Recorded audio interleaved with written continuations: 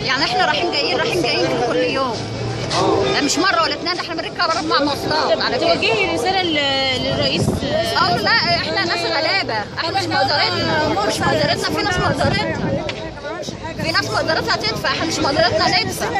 المرتب بتاعنا قليل.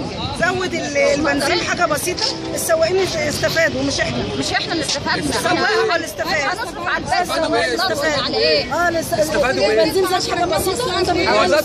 زاد من 22 ل 39 بس ما ينفعش انك تعملوا كده في الناس. ما هو بنعمل إيه؟ ما هو الأجرة زادت علينا هيزيد على الراكب. ما هو في الآخر كل الراكب يعني متضرر. الراكب هو هو مش انت انت يعني بتبص الراكب بقى هو الضحيه في الموضوع. لا مش في الضحيه ما أنا زيك برضو أنا زيك برضو. وأنا ما بركبش.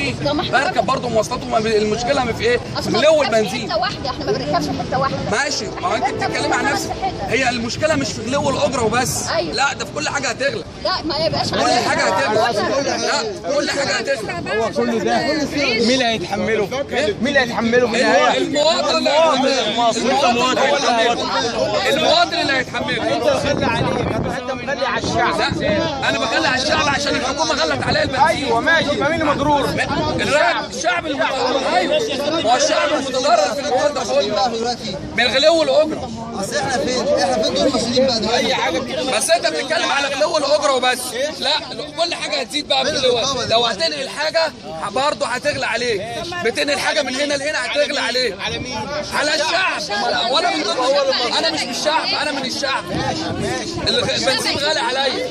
ماشي. بالتالي بغلي على ال- على ال- على العائلي السيسي عمل إيه للغلابة؟ ها؟ كان بيقول نص المرتب بتاع للناس الغلابة. فين بقى اللي هو عمله؟ نص شال الدعم عن كل حاجة. اللي هو بيحكي عنه